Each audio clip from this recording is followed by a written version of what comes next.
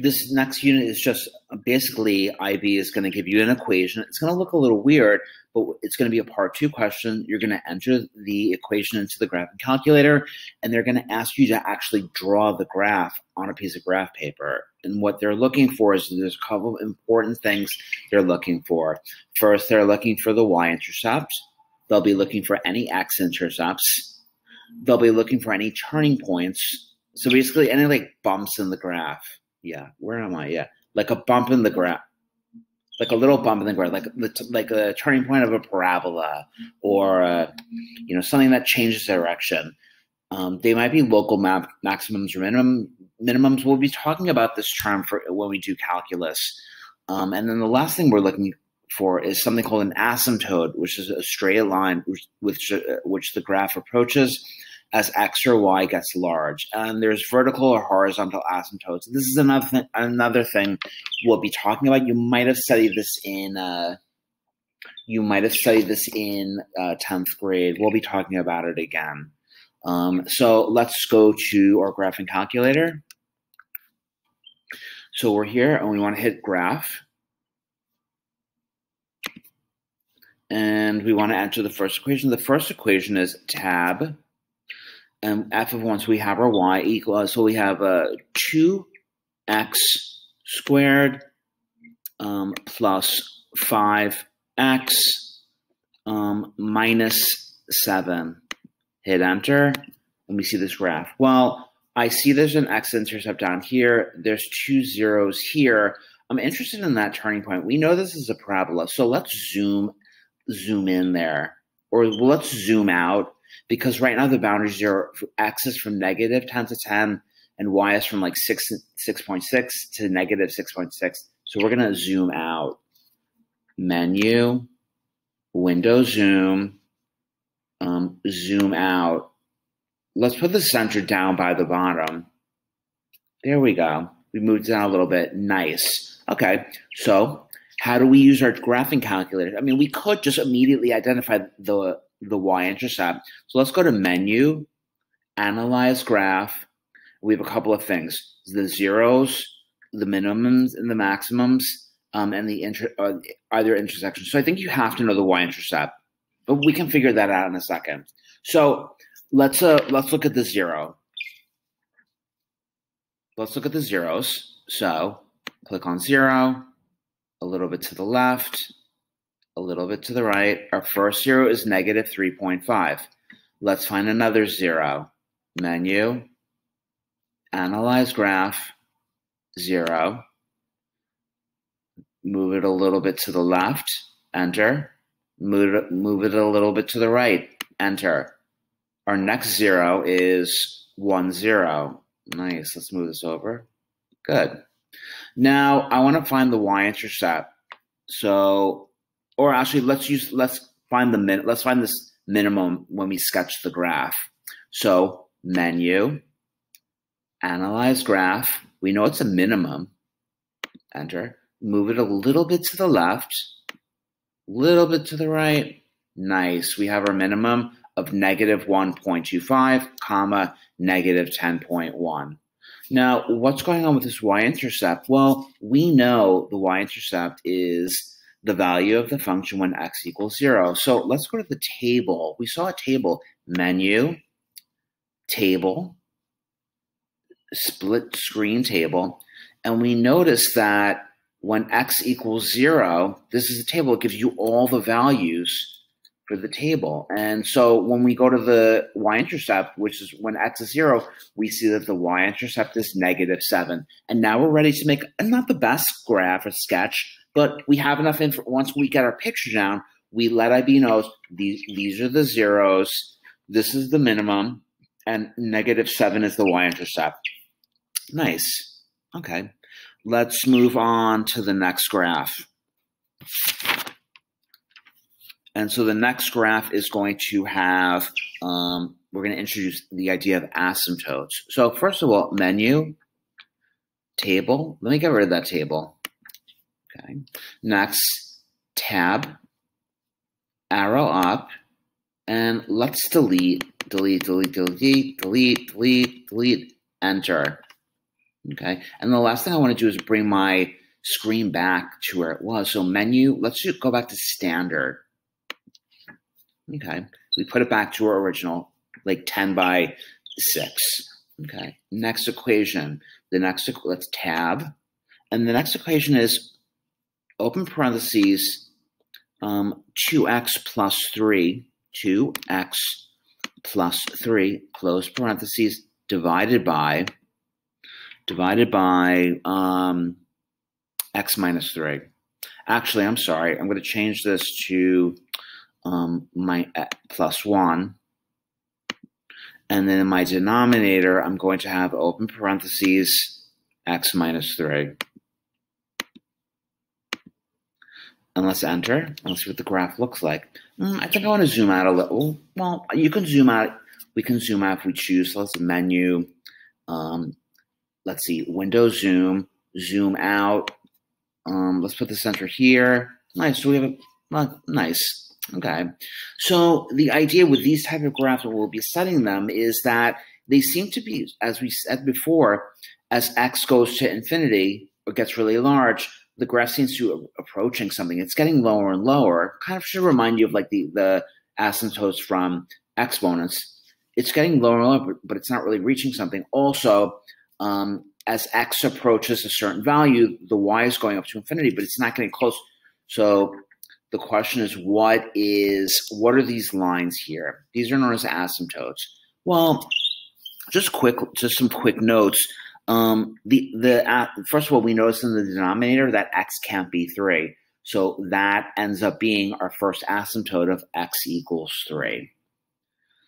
And then the next thing, which we're going to talk about, is what is this? There seems to be a line y equals two right? And, and we're going to figure out how to get that a little later in the class. But the idea is that the, the, the parabola never reaches the, the graph never like reaches um, y equals two.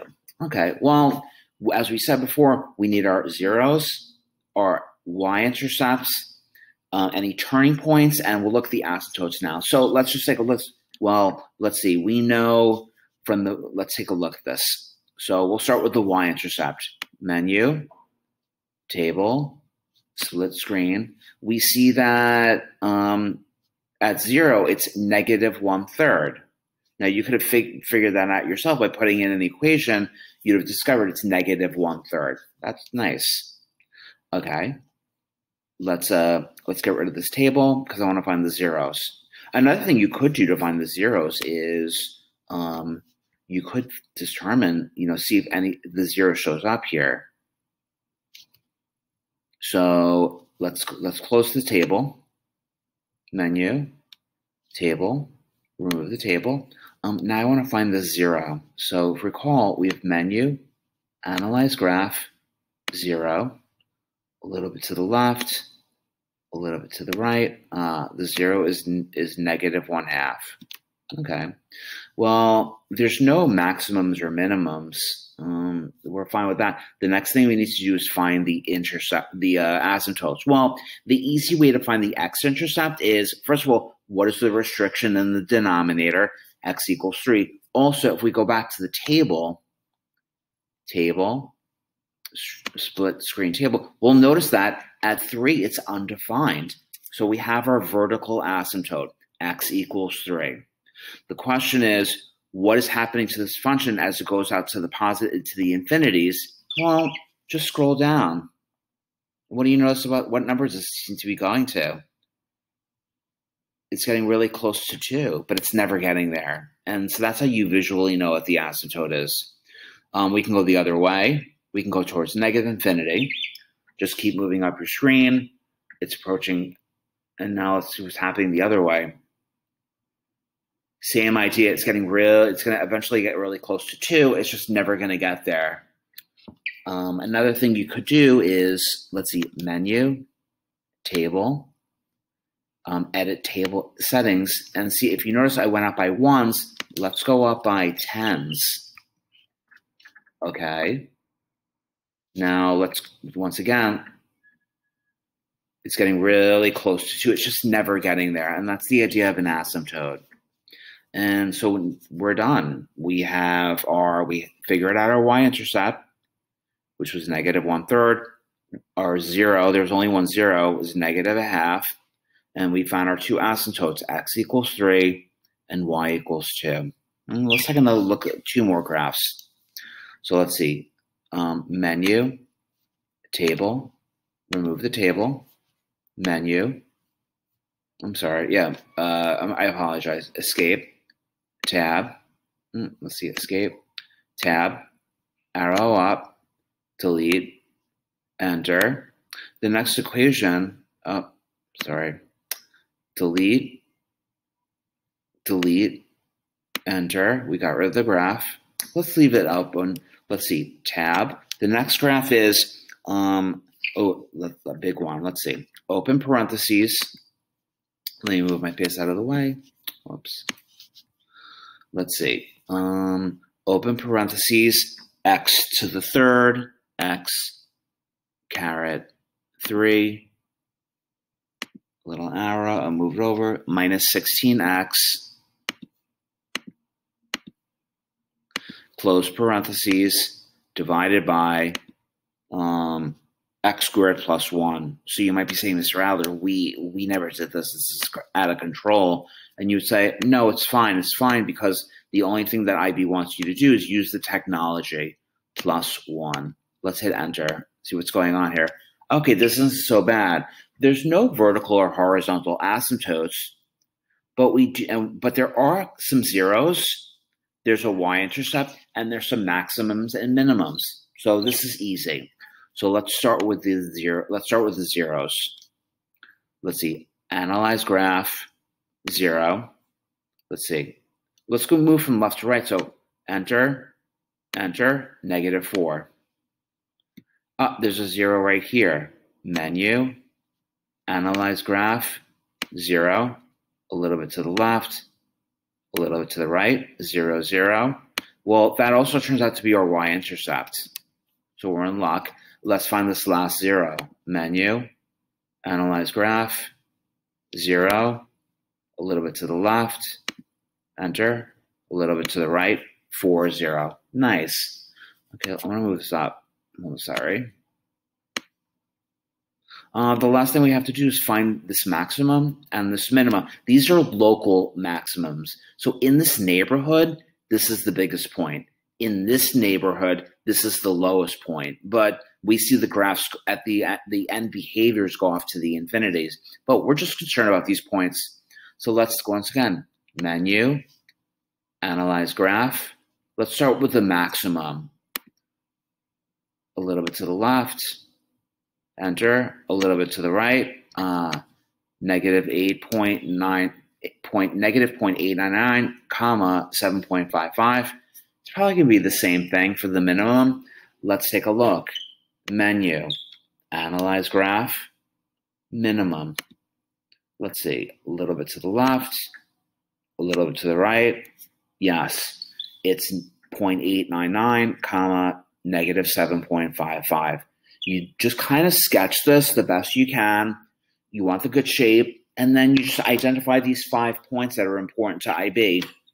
Actually, there's six because that zero zero is of zero and a y-intercept. Um, last equation. Last equation. Let's see. Tab, arrow up, delete, delete, enter, tab. The next equation is x e to the negative x plus 2. Let's see. x times um, e raised to the negative. Don't write a put a minus sign in there. You want the negative sign x, move the arrow over, and let's see, what what did I say? Plus 2, enter. Okay, well, it kind of, it's increasing. There's a 0 here, maybe at 1, I'm not sure. It kind of crosses the y-intercept, maybe at 2. It, it's like there's a bump here. Like there's a maximum, and then it kind of comes down, and it looks like the, there's an asymptote here. Well, we have the tools to check it out. But I want to zoom in here first. Or you know what? Let's find the, the let's find the zero and the y-intercept. So menu, Analyze graph. Well, actually, you know what? Since the y-intercept can be found on the, the table uh, and the asymptote is part of the table, I'm going to save that for the end. So let's find the zero first. Let's see. To the left, to the right. Okay, the first zero is negative. Well, the only zero is negative 0.853. Um, and let's see what this. Let's see what uh, what's going on here with this bump, right? Because it kind of comes up and it kind of starts to come down. So I'm going to menu. I'm going to zoom in there. I'm going to zoom in, and I'm going to put it right here. What's going on there? You know what? Let's zoom in again. Okay, I see there's a max here. Once again, it comes up, and then it kind of comes back down. So let's escape. Let's uh, hit escape. Menu analyze graph, there's a maximum there. It's a, let's see, to the left, to the right. Ah, interesting. At 1, 2.37, there's that, it kind of like increases and now it's going to decreasing. Well, what is, what is it decreasing towards? Well, we said from our table, we can find the y-intercept and this asymptote. So let's go to menu, table, split screen table. And uh, yeah, let's let's see what's going on here. Well, I know the the y-intercept, sorry, the y-intercept is two. And the question is, so what happens? So let's see what happens we go to infinity. So it, it increases up to 2.36, but then it starts to come down. The question is, what is it coming down to? Well, it's not really reaching to, but you can see that's the asymptote. So the asymptote is y equals 2. And uh, that's basically it. So once again, please use your calculator for all the exercises in 3C.